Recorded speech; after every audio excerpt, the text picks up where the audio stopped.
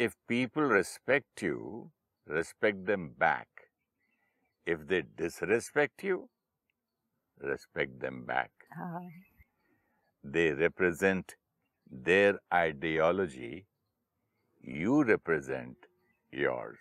कितनी beautiful line है अब इसको ही अगर अगर हम सिर्फ़ पकड़ लें तो जीवन बड़ी सिंपल हो जाएगी आपकी भाषा में इसको हम अपना मंत्र बना लें हाँ ये जीवन बहुत सिंपल हो जाएगी इस लाइन को अगर ले लें क्योंकि सारा दिन में हर्ट होना अपसेट होना इंसल्टेड फील करना।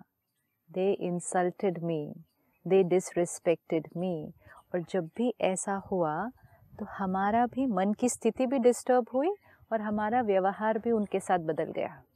And that's why the line is so beautiful if they respect you respect them back if they don't respect you if they disrespect you respect them back They represent their, their ideology you represent yours which means they represent their sanskars you represent yours. But यहाँ पर एक बहुत नाजुक सी thin line ये है कि even they respect you represent yours Hmm.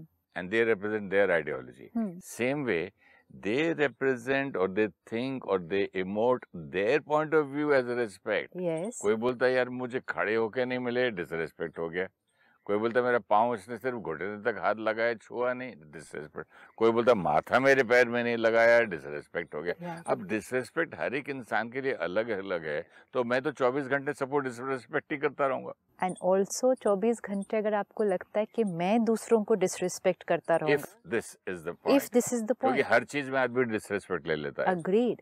तो एक है कि लोग जैसा हमसे एक्सपेक्ट करते हैं जैसे आपने कहा कोई एक्सपेक्ट करेगा कि पैरों तक नहीं हाथ लगाया पैर छूने के टाइम कोई एक्सपेक्ट करेगा कि सिर नहीं झुकाया सिर ही चरणों में रख दें। अगर हमने वो नहीं किया तो वो डिसरिस्पेक्ट है। This is what respect people are expecting from us not only people are expecting from us this is their definition their meaning of respect. Perfect their understanding of respect. This is their definition of respect Correct. इसको ऐसे पकड़ लेते हैं ठीक है? जैसे आपने simple example अगर मैं आई कोई खड़ा हुआ that is my definition of respect and which means अगर सामने वाला नहीं खड़ा हुआ then that is my definition of disrespect exactly तो इसका मतलब मैंने अपने लिए डेफिनेशंस क्रिएट की हुई है hmm. कि this is respect, this is disrespect. So you said how is it possible कि we can meet up to other people's definition of respect? क्योंकि कोई सिंगल बुखार की जैसे देखना है इसका 99 है 100 है सबका दिखता है। हाँ। यहाँ पर कोई पैरामीटर या कोई थर्मामीटर या कोई मीटर ही नहीं है ना। नहीं है। तो एक है कि हम लोगों की डेफिनेशन ऑफ़ रिस्पेक्ट को नहीं मीट कर पाते ठीक है? लेकिन एक ये भी तो है कि लोग हमारी डेफिनेशन ऑफ़ रिस्पेक्ट को नहीं मीट कर पाते। मैं तो सभी की बात कर रहा हूँ। अपने लिए चेकिंग करते हैं। यू टॉक अबाउट मी अपने लिए। Each of us. One is मेरा तो चेंज होता गया है। चेंज होता गया जैसे ना? जैसे आपके साथ मैं ये प्रोग्राम्स कर रहा हूँ हम्म, मेरा क्या था हम्म। और क्या हो गया? हाँ कोई मुझे नमस्ते मैं करूँ और कुछ आगे से यूजुअली ना करते हैं। अरे मतलब ये क्या करते हो? यार मैं आपको नमस्ते करता हूँ गुड मॉर्निंग करता हूँ प्रणाम करता हूँ का ये क्या करते हैं? तो पहले हमारी स्थिति ये थी कि अगर हमने जिस तरह से किसी को विश किया उन्होंने नहीं किया तो दैट वाज डिसरिस्पेक्ट अब आप कह रहे हैं मेरे अंदर चेंज आता गया। अब क्या डेफिनेशन है रिस्पेक्ट की? अब ये है कि थोड़ा सा किया तो किया नहीं किया तो नहीं किया। यार मेरा मैंने तो बोल दिया ना। बचपन में मुझे आज तक याद है सिस्टर्स कॉलेज में मैंने मेरे बड़े भाई का फ्रेंड था तो मैंने उसको शेक हैंड कर गुड मॉर्निंग करके शेक हैंड किया तो उसने ऐसे लेफ़्ट से ऐसे देखते लेफ़्ट हैंड ऐसे I expect right hand sir हाँ। ऐसा ऐसा मतलब तब से ये दिमाग में था। Right so definition of respect अब जैसे उसने कहा कि if they respect you respect them back if they disrespect you respect them back because अभी तक जो हम चलते थे जीवन में हम कहते थे if they respect me I respect them back if they don't respect me then I am also not interested and दुनिया ने भी हमें कहा कि हाँ that not is only fine not interested i would find another time another मौका कि वो भी उसको उसी तरह वो मेरे को नमस्ते करे और मैं ऐसे करूँ या नहीं देखूँ या उसको इग्नोर करूँ। तो मैं तो उसको उसका हिसाब किताब रखता था।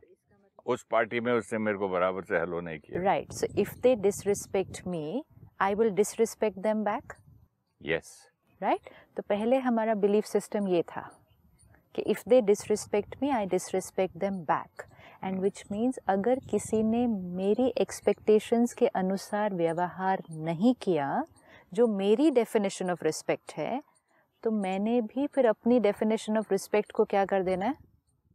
जो मेरी उनको देने के लिए रिस्पेक्ट थी, उसको भी मैंने चेंज कर देना है। एंड विच मीन्स करते करते वो तो नहीं बदले, लेकिन हमारा व्यवहार बदलता जाएगा।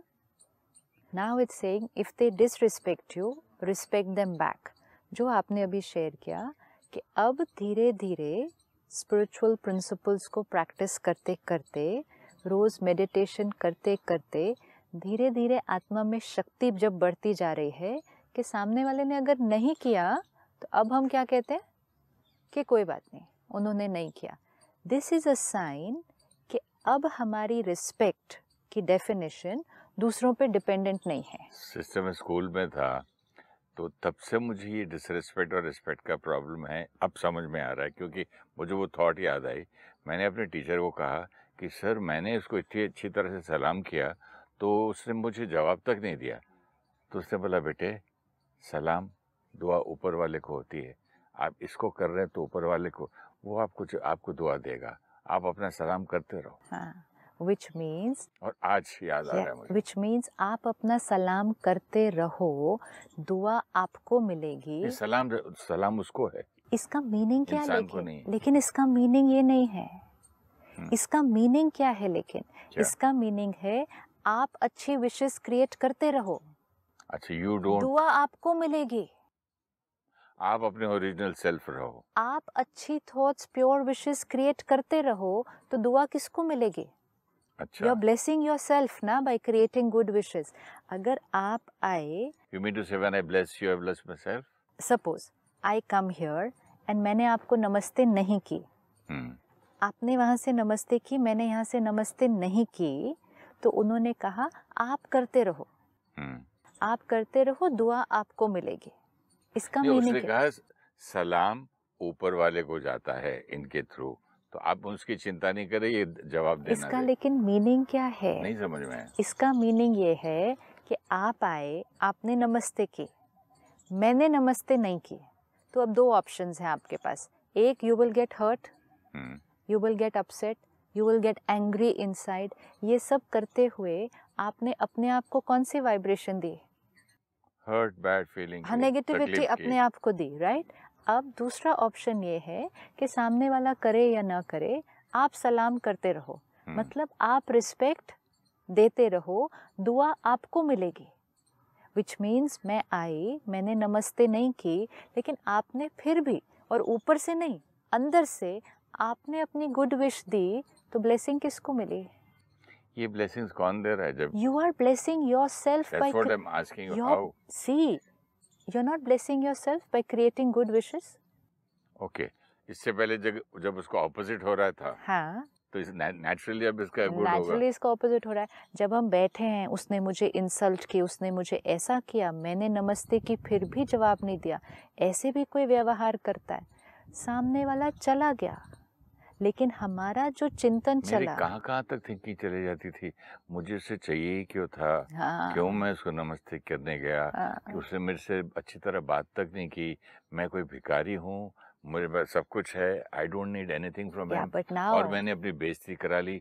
नेक्स्ट टाइम कोई मेरे पास आएगा देखेगा वो करेगा तो मैं करूँगा। मतलब नॉन स्टॉप अब ये जो नॉन स्टॉप ये जो नॉन स्टॉप हर्ट है ये हमने अपने आप को बदुआ दिस इज़ इट सामने वाले ने नहीं किया कुछ भी। सामने वाले ने तो सिर्फ़ नमस्ते नहीं की। हमने अपने आप को क्या किया? सामने वाले का नमस्ते न करना हमारे मन की स्थिति पर एक्चुअली कोई प्रभाव नहीं डालने वाला। कि सामने वाला सलाम करे या न करे, आप सलाम करते रहो, दुआ आपको मिलेगी। वो स्कूल के टीचर ने बोला था हाँ, हैदराबाद में। इसका मतलब आप अपने अंदर की स्थिति को आप डिस्टर्ब नहीं करो। आप अपना सेम रहो दुआ आपको मिलेगी। आज हम या तो खुद खुद को दुआ देते हैं या खुद दुआ का ऑपोजिट अपने आप को देते हैं। जब रेस्पेक्ट का कोई मीटर नहीं है ना कोई उसका कोई समझ में आती कब कैसे क्यों डिसरेस्पेक्टेड कोई फील कर रहा है तो ये थोड़ा इम्पॉसिबल टास्क है। जब रिस्पेक्ट का कोई मीटर नहीं है, जिस मीटर की हम बात कर रहे हैं, वो है बाहर की चीज़ें। है ना? कि हम दूसरों के साथ कैसे व्यवहार करते हैं। अब आप अपनी डेफिनेशन ऑफ़ रिस्पेक्ट का मीटर बनाइए। कि आपके अनुसार फैमिली आपको रिस्पेक्ट करे, ये आप किस बेसिस पर डिसाइड करेंगे कि वो रिस्पेक्ट करते हैं या नहीं करते हैं? आपके अनुसार जिन लोगों के साथ हम काम करते हैं, वो हमें रिस्पेक्ट करते हैं या नहीं करते हैं, वो किन पैरामीटर्स पर डिसाइड होता है। जिन लोगों से हम मिलते हैं सोशल गैदरिंग्स में रिलेटिव्स फ्रेंड्स वो हमें रिस्पेक्ट करते हैं या नहीं करते हैं, ये हम किस बेसिस पे डिसाइड करते हैं? हमारा पैरामीटर क्या है? लेट्स लीव असाइड के लोगों ने क्या पैरामीटर बनाया वी नीड टू चेक कि हमने अपने लिए क्या पैरामीटर बनाए हुए हैं। कि what is the basis of respect for us and most important is like you said different people will have different parameter. एक चीज़ और ऐड करूँगा।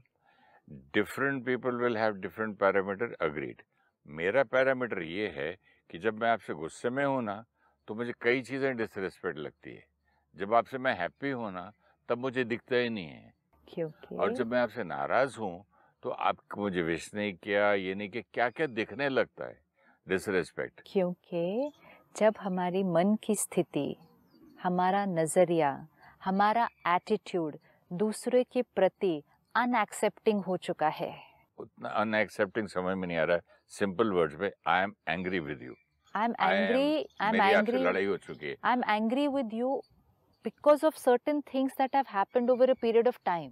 हाँ तो अब मुझे डिसरिस्पेक्ट का यहाँ पर मीटर मेरा बदल जाता है। क्योंकि एक बार आपने ऐसा कुछ किया जिससे मुझे लगा कि आप मुझे रिस्पेक्ट नहीं करते? दूसरी बार भी ऐसा किया तीसरी बार भी ऐसा किया चौथी बार भी ऐसा किया तो now right now my energy for that. Person ये मुझे रिस्पेक्ट नहीं करते। अब ये मैंने किस बेसिस पे क्रिएट किया कि ये मुझे रिस्पेक्ट नहीं करते? उन्होंने तीन चार बार मेरी एक्सपेक्टेशंस के अनुसार व्यवहार नहीं किया। राइट जैसा मैंने सोचा था कि उन्हें करना चाहिए। अब ये उन्हें could be at home could be at work could be in a social gathering जिस तरह हमारा पैरामीटर था कि लोगों को ये ऐसा करना चाहिए that will be counted as respect जब तीन, चार, पाँच बार किसी ने ऐसा नहीं किया तो मेरा नज़रिया उनके बारे में क्या बन चुका है? I don't hold very pleasant memories about that person अब मेरा उनके प्रति एक्सेप्टेंस लेवल बहुत लो हो चुका है। क्योंकि मेरे बिलीफ सिस्टम में बैठ गया है, क्योंकि उन्होंने कई बार मेरे साथ ठीक से व्यवहार नहीं किया है। नॉट नेसेसरीली सिस्टर बात यह है कि जैसे शादियों में कितने लोग कोई भी बात पर नाराज़ हो जाते हैं। कोई तो वैसे बाई नेचर ही होते हैं। क्या, क्यों नाराज़ है भाई? यार ये नहीं हुआ, यार वो नहीं हुआ, यार इसने ऐसे नहीं किया। अरे तो करें तो क्या करें? अरे मैंने कुछ बोला उसने कुछ समझा। नाराज़ होना और डिसरिस्पेक्ट फील करने की कोई मतलब लिमिट ही नहीं है किसी की। It's such a difficult subject to discuss अब देखिए, हमारे यहाँ एक फैमिली फ़ंक्शन में, एक मेरे कज़न के घर पे मैं बैठा हूँ, नीचे देख रहा हूँ, क्या प्रॉब्लम क्या हो रहा है? देखा तो रोती हुई उसकी सास आई, उधर उसकी दूसरी की सास आई, लड़के की माँ आई, लड़की की माँ आई। मतलब हुआ क्या? तो आके बोलने लगी मैंने जो साड़ी लाई थी, वो नहीं पहनी और इसने जो साड़ी लाई थी, वो पहन ली। अरे भाई तो मेरी तो I feel insulted I am not attending this party मेरे को तो घर जाना है, अभी इसी वक्त जाना है। मैंने बोला, इतना बड़ा फ़ंक्शन आपके घर में, आपके मेहमान हैं, आप ही जानो, आपकी क्या इज़्ज़त होगी? आपको क्या दिख रहा है ये? किस बात? नहीं, हमारी बेइज्जती हो गई। बेइज्जती क्यों हो गई भाई? जो मैंने साड़ी दी, वो नहीं पहनी, तूने जो साड़ी दी, वो पहनी तो बेइज्जती हो गई। This is exactly the point कि जो हमारी एक्सपेक्टेशंस है सर्टन लोगों से।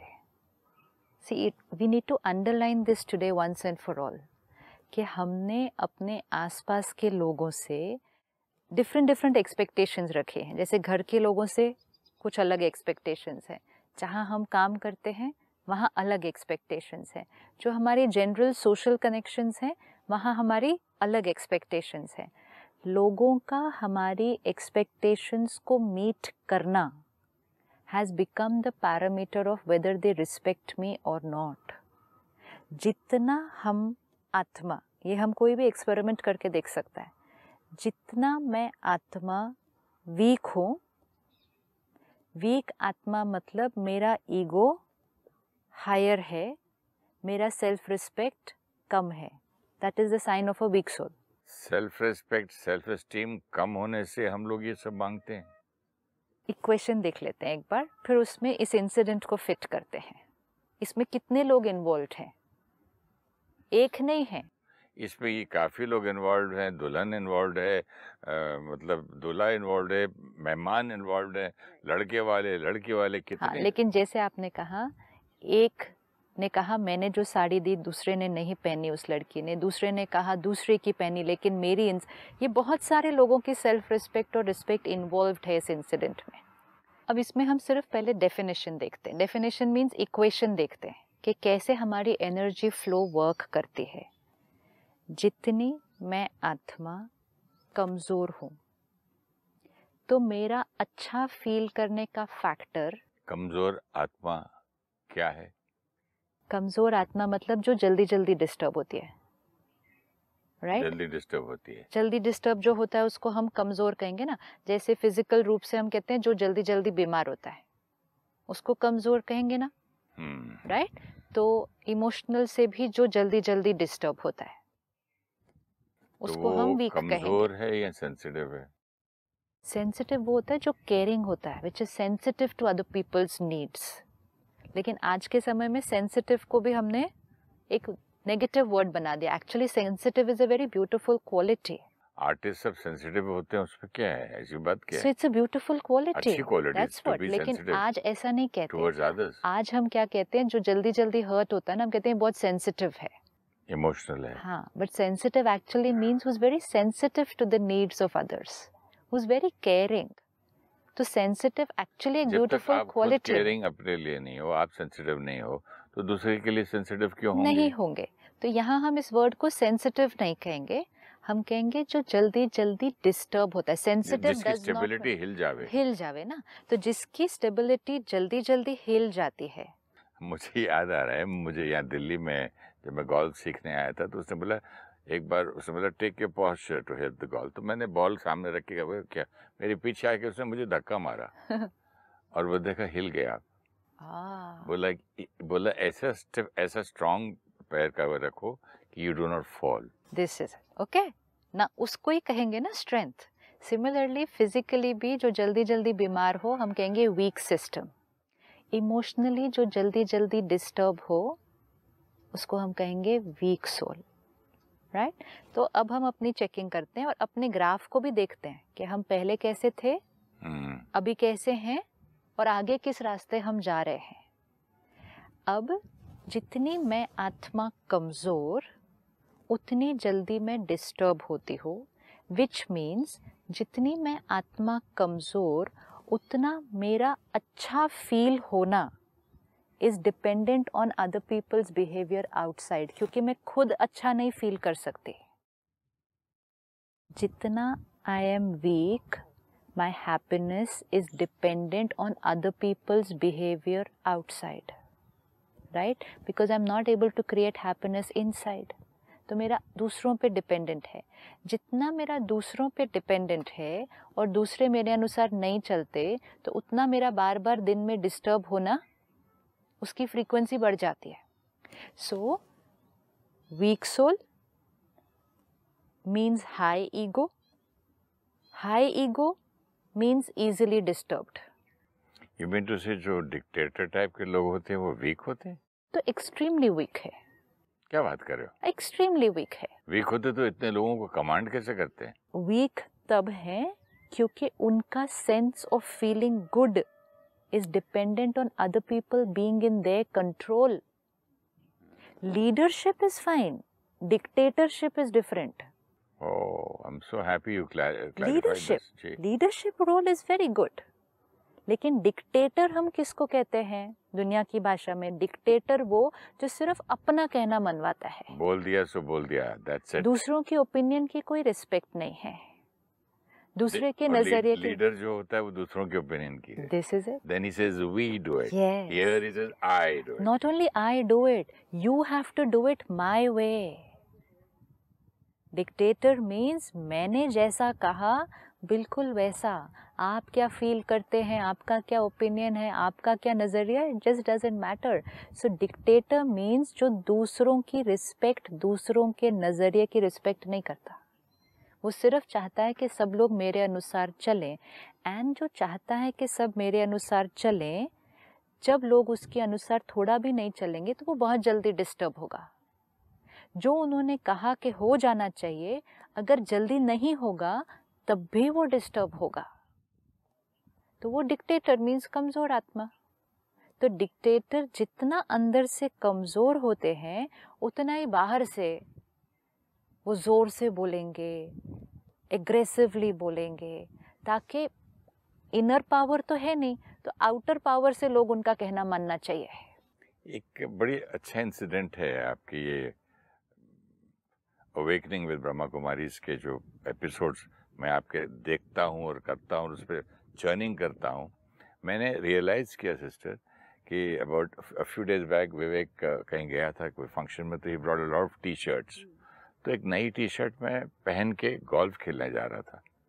तो मेरा लड़का नया है काम करने वाला कुछ सोलह सत्रह साल का या अठारह साल का छोटा सा लड़का है। बोलता है साहब ये घर के लिए अच्छा है बाहर पहनने के लिए ठीक नहीं है।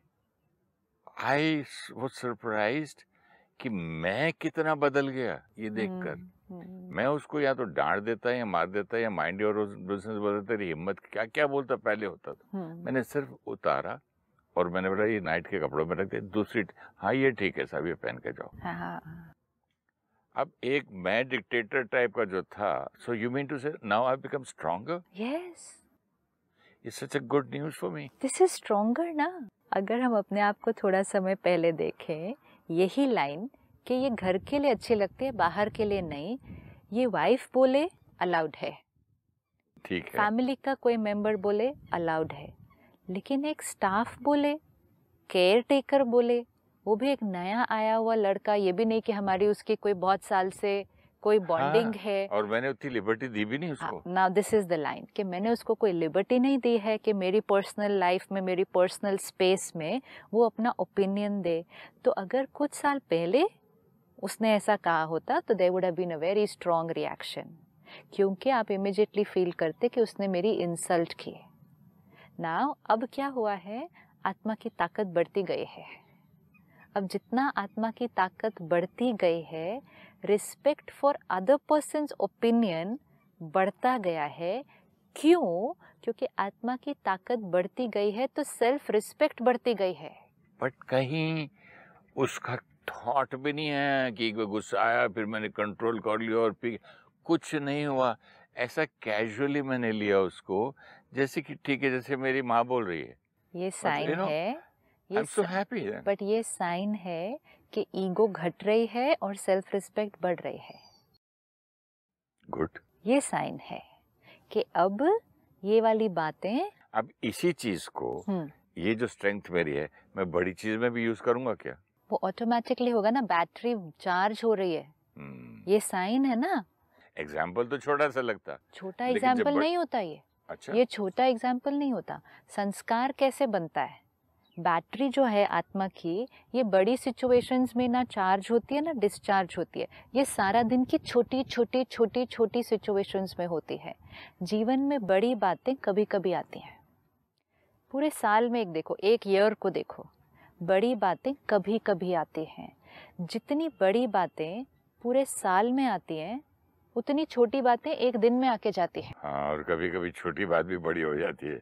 छोटी बात बड़ी कब लगती है? जब मैं कमज़ोर हूँ। अब यही बात कि केयर टेकर ने पर्सनल कमेंट कर दिया मेरे कपड़ों पर और यहाँ तक भी कह दिया कि जो आपने चूज़ किया है। Because actually he is not talking about मैं द गोल्फ जा रहा था sister no no no but here the insult is कि वो आपकी टी शर्ट के बारे में नहीं बात मेरी कर रहे। दिस इज़ इट आपकी चॉइस आपकी judgment on what is right for you आपने एक डिसीज़न लेकर उसको पहन चुके हैं। तो आपको तो सही लगा वार्डरोब का आदमी भी नहीं वो झाड़ू करने वाला है। This is exactly the point आप ये भी तो सोच सकते हैं कि इसको क्या नॉलेज है कि कौन से कपड़े ठीक हैं कौन से कपड़े ठीक नहीं हैं। हु इज़ अगर हमें इंसल्टेड फील करना है उसकी कोई लिमिट नहीं थी इस इंसिडेंट के अंदर भी हो सकता था। एंड रिएक्ट भी कर देते। दिस इज़ अ साइन कि जितना सेल्फ रिस्पेक्ट बढ़ेगी। अब ये छोटे छोटे इंसिडेंट्स दिन में चार पाँच तो हो ही जाते हैं। ये चार पाँच अगर इंसिडेंट्स दिन में हो गए और चार पाँच बार ईगो से रिएक्ट किया आत्मा की बैटरी क्या होगी? डिस्चार्ज हो होगी। चार इंसिडेंट्स भी दिन में अगर ऐसे हो गए जहाँ लोगों ने हमारे अनुसार व्यवहार नहीं किया जैसा हमने एक्सपेक्ट किया था, वैसा नहीं किया। तब भी हम स्टेबल रहे और इस केस में जैसे हमने उनके ओपिनियन को भी रिस्पेक्ट दी। ये चार इंसिडेंट्स अगर दिन में हो गए ना तो आत्मा की पावर तो कितनी बढ़ जाएगी।